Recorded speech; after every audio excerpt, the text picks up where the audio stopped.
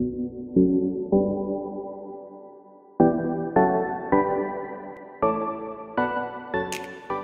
friends, welcome to CIC's Pause and Ponder. My name is Xavier.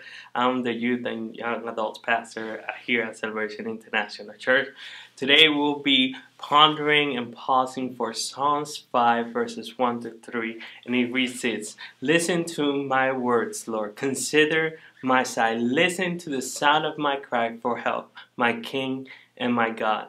In the morning, Lord, I will hear, you will hear my voice. In the morning, I will present my prayers to you and be on the watch. What I love about this is that David is focusing on God. Before anything else, what I'm challenged about this passage is that David is running to God first. He's running to Him with with all whatever is going on in his life in this moment, the chaos, the craziness. He's going to God first.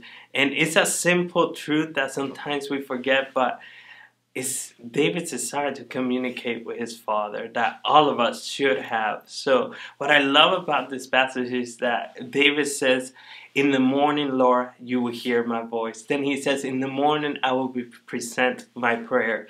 It's like that aspect of before anything else, before I do anything else, I'm going to look to you. And so many times in your life and in my life, uh, whether it's a financial issue or just a situation with somebody else. Sometimes we run to our banks, our financial guide, our savings, or we run to this person, that person, and sometimes we forget to run to the ultimate one who has all the answers. And that's what challenges me about this passage that David sought after God in the morning. He said, You will hear my cry, you will focus on me. Um, I will listen to you, I will look to you, and that just is such an challenging because he first sought the God's kingdom. He first saw God's answer because he knew that God is the ultimate one that has all the answer, that can provide, that can guide, and his victory is in him. So he didn't only just sought after God and prayed and let his request, but he says at the end of this verse in verse 3, I'll be on the watch. David was on the watch to listen to God's direction, to listen to His voice.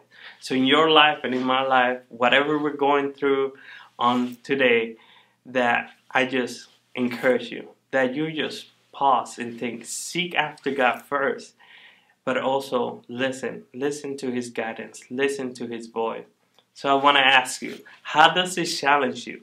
Comment on comment below, let us know, let us have a communication, and remember Remember to let, lean into Him and trust in Him always.